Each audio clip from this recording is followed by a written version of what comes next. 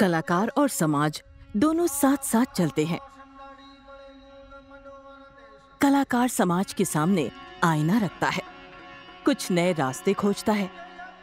समाज इस नई सोच से प्रेरणा लेता है।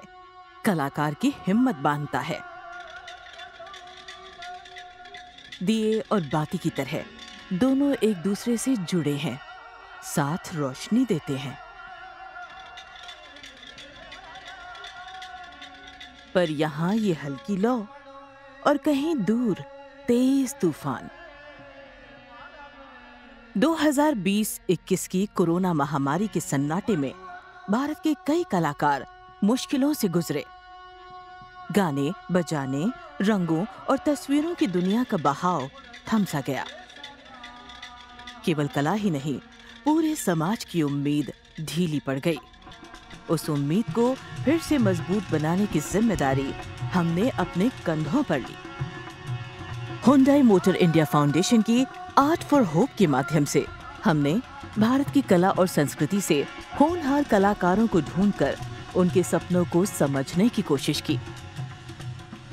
कला क्षेत्र के कई विश्वविख्यात विशेषज्ञों की राय मांगी और कई नए प्रतिभाशाली कलाकारों से पहचान हुई।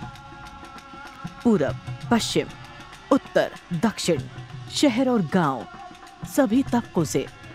एक आवेदन हमारे पास आए। इनमें से 50 कलाकारों को चुनकर हमने हमारी जूरी के सामने रखा।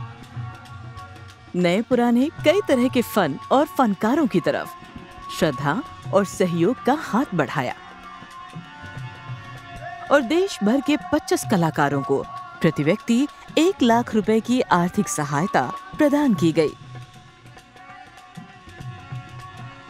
इस प्रोत्साहन से कोरोना महामारी के कठिन समय में कलाकार अपनी कला और अपने सपनों को संजो सके और उन्हें समाज के सामने रख सके।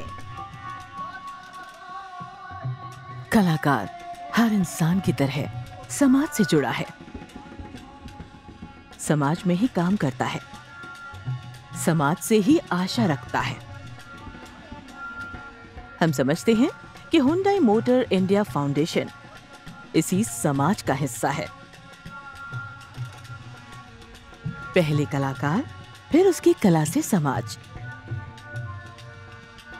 सभी के लिए रंगों से, सपनों से भरी उम्मीद की एक दुनिया।